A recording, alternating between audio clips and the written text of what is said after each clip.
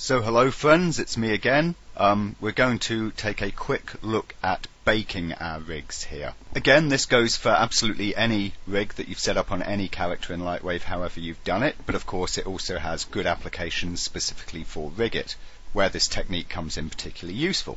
So let's see what we've got here. We've got basically a, a bit of animation here um, that we've done. Now, one of the things that we want to do often is we want to speed up the performance of our scene once we get into lighting and, you know, starting with the render setup and all of that. We also, of course, have got our rig here, and, you know, that's a lot of constraints going on that are making the movement do whatever it's doing. And even though I've never seen it myself, you know, even I can think about getting a bit twitchy about sending something off to a render farm and maybe at LWSN having a couple of the constraints not work correctly and so you get your renders back with some horrible deformation or something. The point is, once I've finished my animation, once it's final, final, finalized, I always want to bake it down before I move on to the next parts of, you know, my pipeline process. Now, of course, one easy way to do that that we're all familiar with is uh, MDD baking, where of course you just take the mesh and you bake that to an MDD file. And you know, that's fine. You can still use that with displacements and other things, but you can't use displacements in certain ways, namely via the node editor. You have to use the surface displacement node input on the surface channel. And there may be other considerations as well. In the case of RHiggit, then we have of course got two rigs. There's the main controller rig, which is of course, you know, what's driving our animation and on which everything is keyframed. But then we have the deform rig, which is the actual joints and bones that are deforming our character mesh. And in RHiggit's case, that targets onto the controller setup.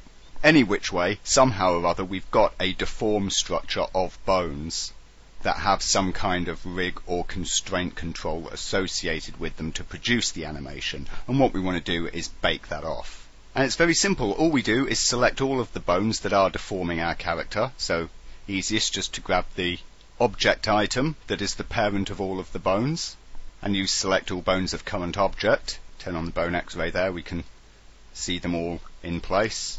You could bake this in a number of ways. You could just skip through each frame and manually key all of the bones for every single frame. Could be a bit laborious. That's why I love the MF Motion Baker here.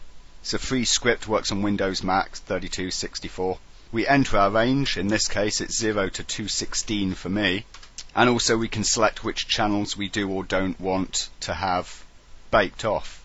In this case with RHiggit, I do have, you know, little stretchy bones and bits and pieces going on for lots of the clever deformation stuff. So I'm going to bake everything, all nine channels. Um, I just hit OK. And we can see that the MF Motion Baker goes through scanning the entire motion and bingo, when it finishes, every item has a keyframe on every frame. We can then select any control rig that we might have. So in RHiggit's case, the actual animation control rig and the IK controllers and all of that, and we can just clear them, get rid of the lot, all items and descendants.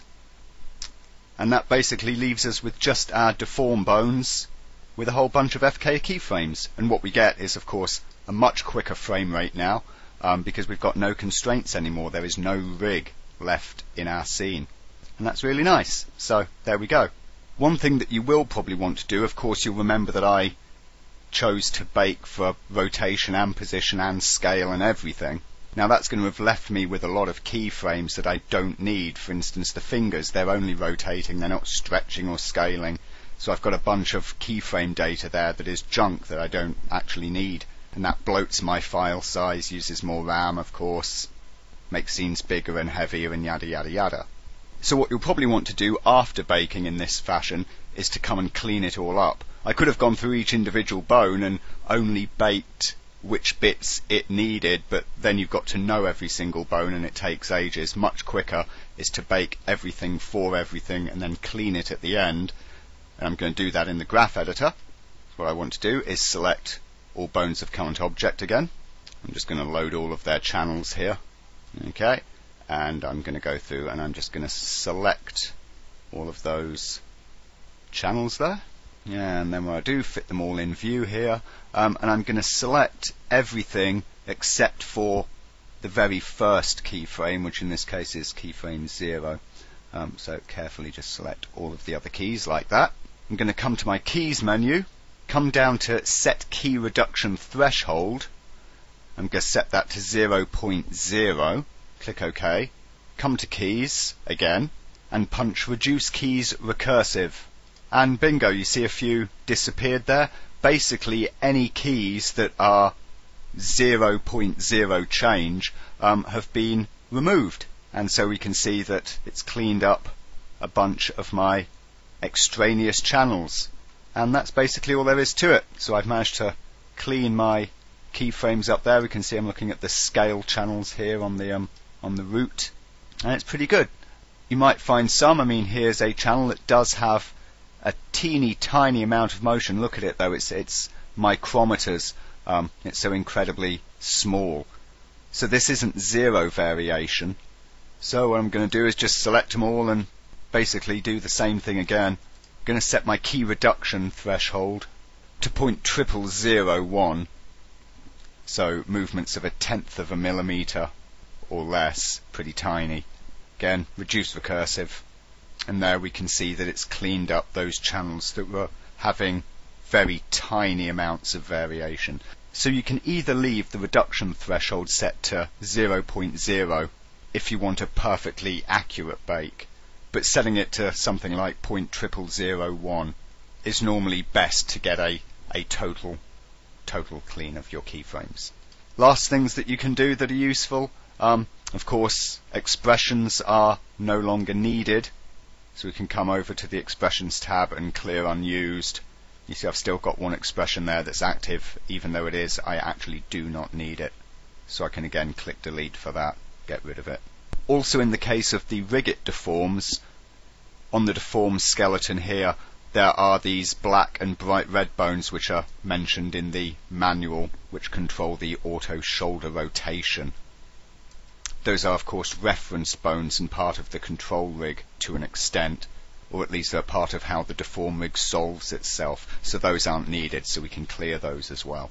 Because those guys aren't actually deforming the mesh, it's just these other bones here. And that's it. Our deforms are baked. Everything runs super smooth, super quick, and we can be certain that there's going to be no mess ups going to a render farm or anything else. We can also delete master channels because they're no longer needed. You can leave them, it doesn't really make much difference. But if you're determined to clean your scene to its cleanest possible finished state before you go on to the next stages to prevent any possible conflicts or problems further down the line then you can take care of that sort of stuff too. And that's all there is to it. So I hope you found this guide helpful. So that's all for now. Thank you very much for watching and goodbye.